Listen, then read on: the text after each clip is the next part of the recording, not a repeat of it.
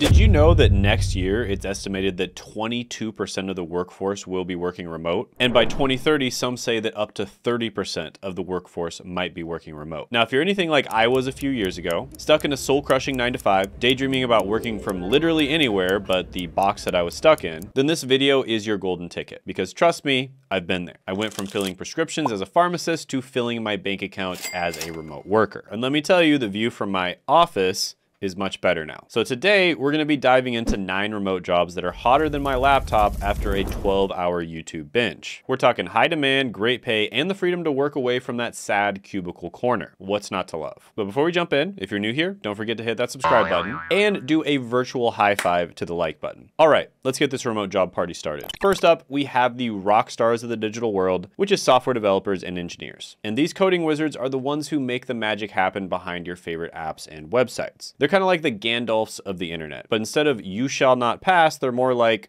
you shall not crash.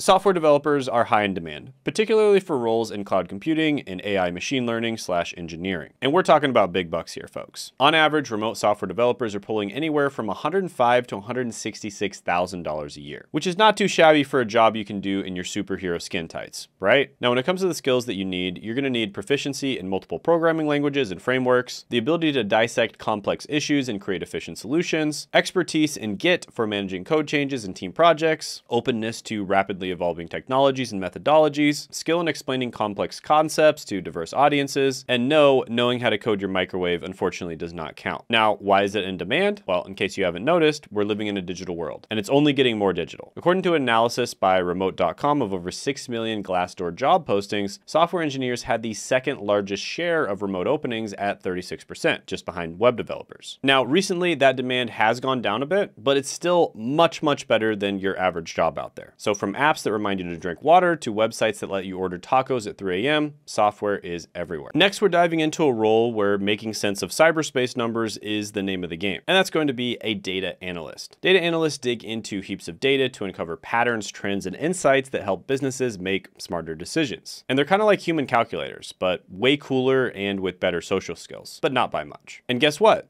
These number crunching wizards are in high demand with business intelligence analysts being especially sought after. Now, data nerds, and I say that with love, can expect to rake in anywhere from 87 to $137,000 a year. That's a lot of digits to analyze. And when it comes to your skills needed, here's what you'll need to know to be successful in this role. You'll need to be proficient in statistical methods to interpret data and derive insights. You'll need knowledge of programming languages like Python, R, or SQL for data manipulation and analysis. You'll need the ability to present data insights visually using tools like Tableau or Power BI, and you'll have to have the skills to clean and prepare raw data for analysis, ensuring its accuracy and relevance. Plus, you need to have the communication ability to convey complex data insights to both technical and non-technical audiences. Now, the reason why this one's in demand is because, well, the US Bureau of Labor Statistics projects that it's gonna grow 25% from 2020 to 2030, making it one of the most sought after remote jobs in today's data-driven landscape. And with more companies drowning in information information every day, obviously they will need someone to tell them what it all means. Now, quick perk alert, work from anywhere and enjoy a coconut latte on the beach because who says you can't crunch numbers with your toes in the sand? Now, let's get into the pros and cons of being a data analyst. The pros here, it's intellectually stimulating and you're gonna be doing problem solving daily. There's also competitive salaries and benefits are in high demand. You've got flexible work arrangements, often remote friendly. You've also got continuous learning and skill development opportunities and potential to create impactful world changing products. The cons are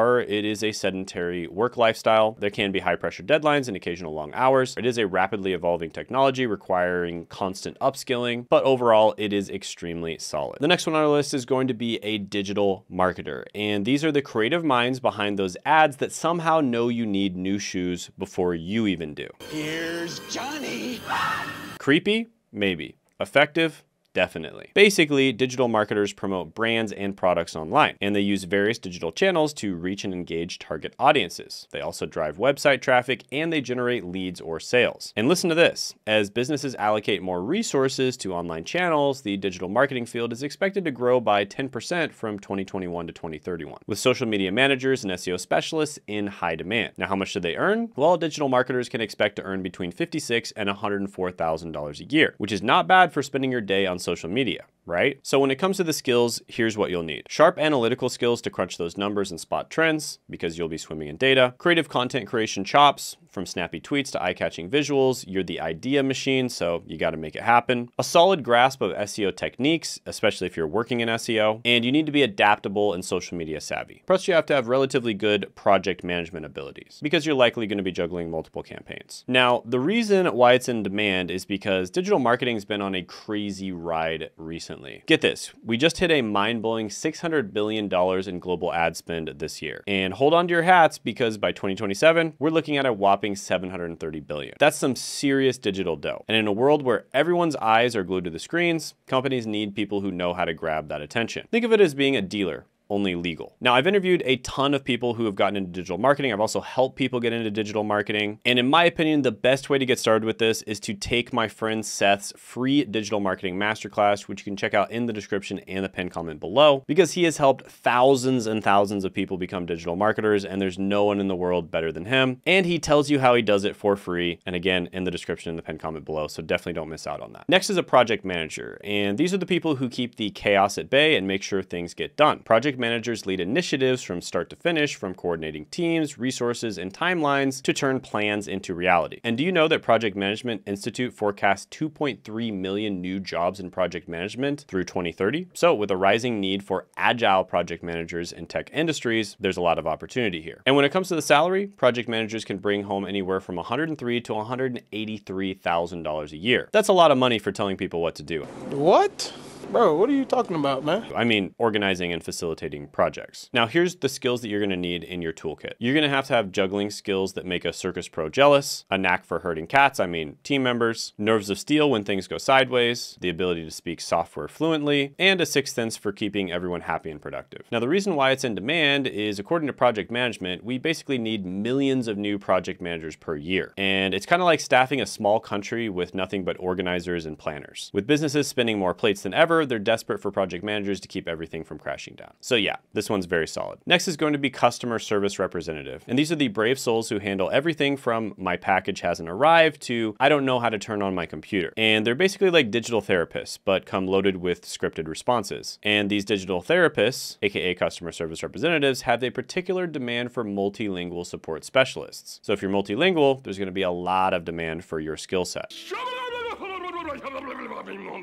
And customer service reps typically make between $37 and $51,000 a year. So it might not be tech money, but hey, it's honest work and it's incredibly easy to get into. Now, when it comes to the skills you need, you're gonna need nerves of steel to handle frustrated customers without losing your cool. You're gonna have to have ninja level multitasking where you juggle chats, calls, and tickets while keeping a smile in your voice. You also have to have Sherlock worthy problem solving skills, digging for clues and piecing together solutions like a pro detective. You're gonna have to have chameleon like adaptability and you have to have Jedi mind trick empathy. Now, the reason why it's in demand is because as more businesses move online, they need people to handle customer service queries. And according to Statista, approximately 27% of customer support workers worked remotely in 2018, and that figure is likely much higher now. So this is no surprise given the numerous benefits of remote work, including increasing productivity and job satisfaction, that there are going to be a lot more of these jobs available. Next is going to be our digital bodyguards, the cybersecurity analysts. And these are the people who make sure the only virus you have to worry about is the one that gives you a running nose. They're like the bouncers of the internet, but with less visible muscles and more visible eye bags. And here's a fact, incident response analysts and cloud security specialists are specific job titles that are recently sought after. So there's a lot of jobs within cybersecurity, but cybersecurity analysts specifically can earn between 103 to $178,000 a year, which is not bad for playing defense against digital bad guys. And when it comes to your skills needed, you're gonna need sharp problem solving skills because you need to kind of think like a hacker in order to be able to outsmart one. It's also good to have rock solid networking knowledge. Trust is a huge thing in the cybersecurity industry, and your reputation is basically everything. You also need to understand how data moves because that's kind of key to protecting it. And you need to have an adaptable learning mindset because cyber threats evolve daily, so you got to be able to keep up. Then you also need an eagle eyed attention to detail because spotting that one anomaly could save the whole system. And of course, stellar communication chops because explaining complex threats to non-techies is a must-have skill. Now, the reason why it's in demand is because we're entering an era where there are 3.5 million cybersecurity jobs just waiting to be filled. Seriously, there's literally millions of jobs that they just simply cannot fill. And the skill gap isn't just a headache for companies, it's also a golden ticket for anyone looking to dive into a field that's practically begging for new talent. Next up, we have the smooth talkers of the business world, the sales representatives. These are people who could sell ice to an Eskimo or in today's world, sell a new app to someone who still uses a flip phone. And specifically, there's increasing demand for technical sales representatives in the software and SaaS industries. And when it comes to salaries, well, sales reps can earn anywhere from 110 to $203,000 a year, depending on their skills and commission. You basically eat what you kill. And the sky's the limit if you're good at convincing people they need things they didn't know that they wanted. Now, some skills needed here are killer communication skills, an eagle eye for details, rock solid product knowledge, bounce back resilience, and ninja level time management. So why is this in demand? Why is this on this list? Well, the pandemic didn't just change how we shop and socialize, it also revolutionized the job market too. And by the end of 2022, a whopping 26% of US workers were doing their thing from home,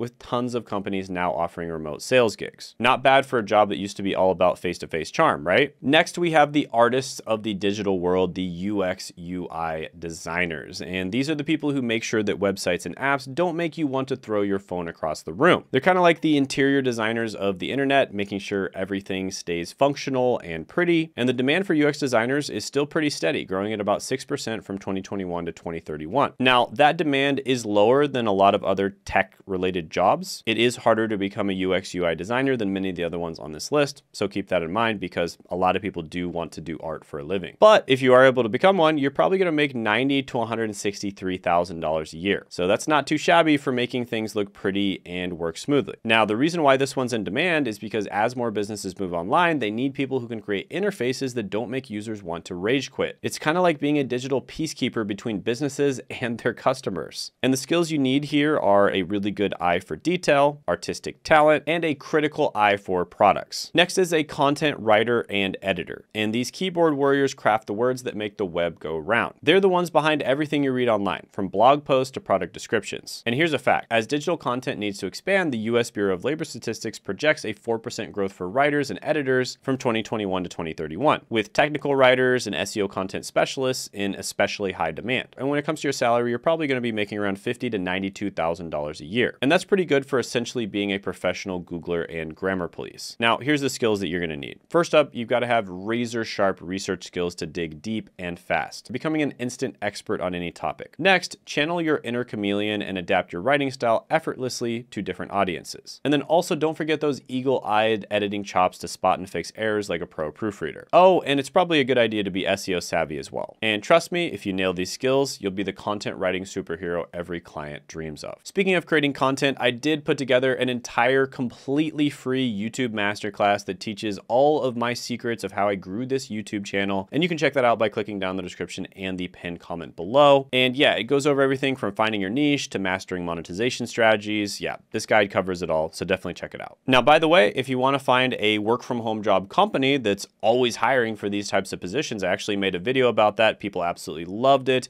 And you can check it out by clicking right here.